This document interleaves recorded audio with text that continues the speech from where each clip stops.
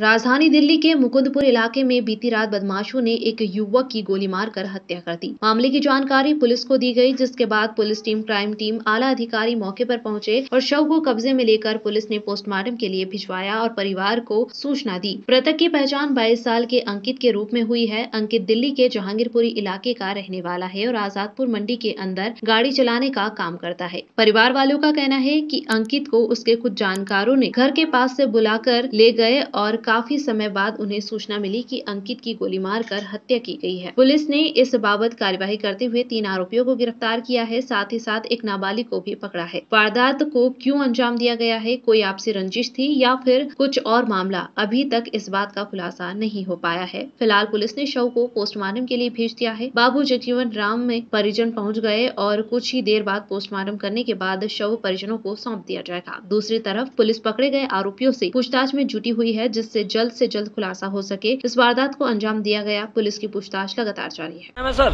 Kumar sir क्या है पूरा मामला? लड़के के आपकी मौत हुई है बताया जा रहा है गोली मारा है। किसने मारा? कुछ पता चला?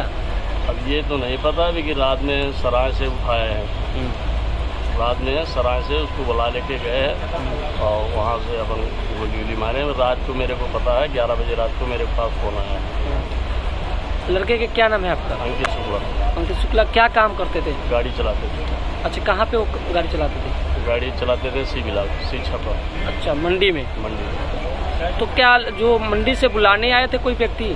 मैं मंडी के कोई नहीं। था अच्छा उनको कौन व्यक्ति ले गया मोटरसाइकिल पे बैठा के जो आपको ये बाहर ही थे इनके पहले कोई दोस्त था वही सब ले गया अच्छा आपको कितने बजे पता चला? हमारे को पता चला ग्यारह बजे। अच्छा पुलिस के अभी तक क्या कार्रवाई रहा? मैं जब आया हूँ तो यहाँ हमारे पास ना हमारे से कोई पूछा जाचा ना कुछ। जो बंदे वहाँ थे वो लेके आए। यहाँ क्या लिखा पढ़ाई कराए क्या नहीं कराए मेरे को नहीं पता चला। हम्म, अब यहाँ मेरे पास साइन करा रहे हैं। हम्म। जो लाज लेनी है बस और हमारे को कुछ पूछा जाचा नहीं है।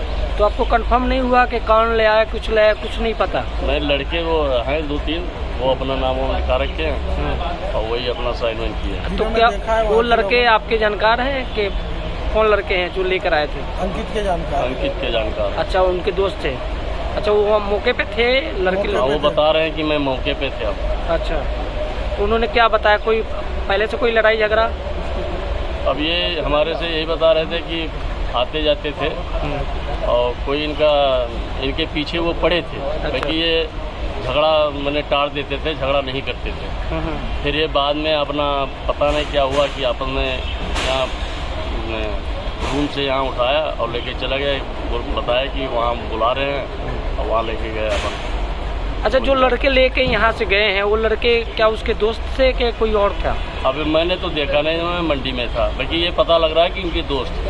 अच्छा तो उनको पुलिस अभी उठाई है या नहीं उठाई जो लड़के लेकर चार लड़के पकड़े गए तीन लड़के। एक तो नाबालिग है तीन वो बालिग। अच्छा चार लोग पकड़े गए हाँ? हैं चार पकड़े गए। एक नाबालिग है। आप क्या चाहते हैं? हमें इंसाफ चाहिए था। जो मारा हो गोली उसको सख्त से सख्त सजा होना चाहिए।